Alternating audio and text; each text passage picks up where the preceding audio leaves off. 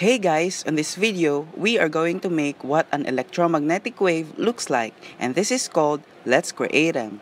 What we need is pen, scissor, strips of cardboard, ruler, and two markers of different colors. For our first procedure, draw a 12 cm straight line on the center of both cardboard strips and mark every 3 cm interval from the starting point. Second, draw an upward curve of the wave from the starting point to the next mark, then connect a downward curve of a wave from the last mark to the next mark and so on.